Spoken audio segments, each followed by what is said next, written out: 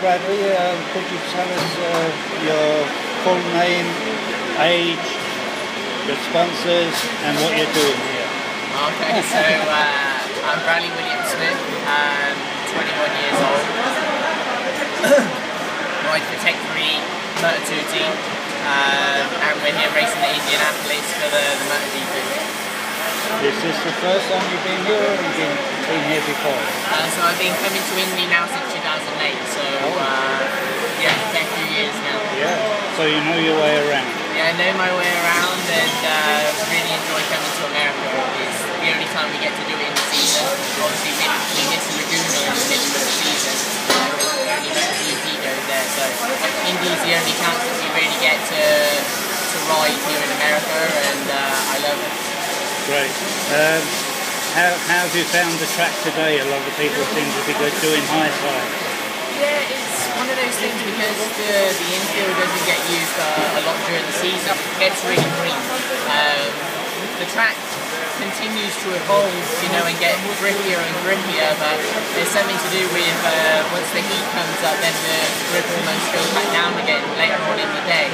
Uh, it's easy to get caught out here. There's a couple of corners where you know you're really swinging on, on maximum lead, and I think that's what we saw today. But um, you have to be careful here. It's yeah. a little bit less grip than we get normally, um, which makes it a challenge for bike centre.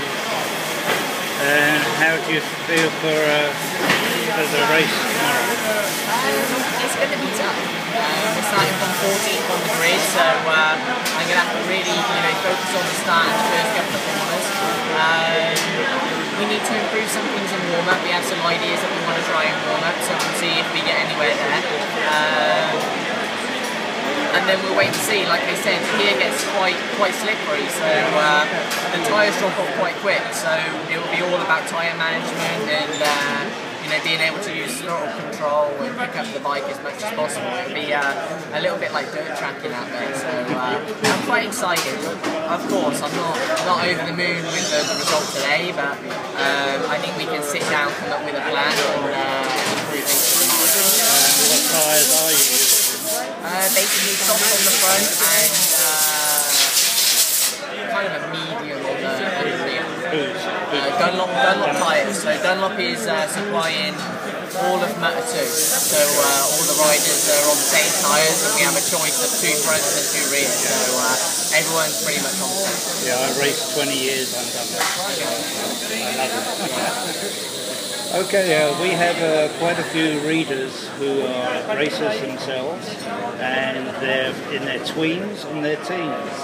Uh, what recommendations can you give to them to get to this level? Um,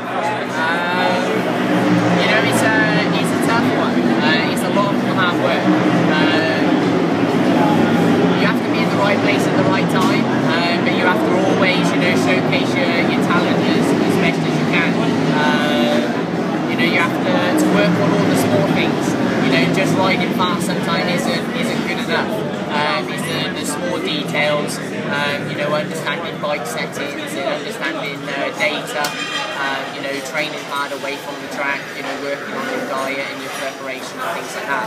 Uh, because you know, everyone can a lot of riders can ride fast, but you have to have something that sets you apart and makes that extra little bit of a difference. And uh, yeah, that's that's all I can do. You know, if you're doing things that other people aren't, it's normally a good thing. Uh, are you into the uh, latest thing in cycling at home? Yeah, cycling triathlon's kind of my, my main training. Um, you know, with road racing, is quite a, versatile sport. There's not actually a, a set training program, so uh, you know you need to need to be honest with yourself. And can I go 100% from the start of the race to the end? If the answer is no, then you need to get yourself in the gym. Uh, you know, and work on cardio, work on strength, and kind of be a jack of jack of all, master of none. You know, that seems to be the, the best way forward from that. And where do you go from here? Um, so basically, we get on a plane tomorrow night, um, go back to Czech Republic, um, where we race in Brno next weekend. So it's going to be a busy schedule. Um, and then we have two weeks off, uh, and then we'll be in, uh, in Italy. So, you know, after the summer break, it gets quite busy again. Um, so yeah, plenty of riding, plenty of track time, and plenty of fun.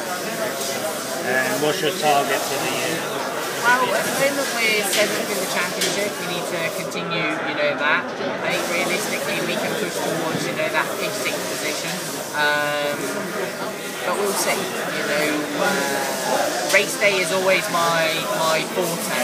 I seem to be able to pull myself forward on race day. Qualifying is always a little bit of a struggle for me. So uh, hopefully tomorrow, as the race goes on, I can pull myself forward and uh, not lose too much points to my title.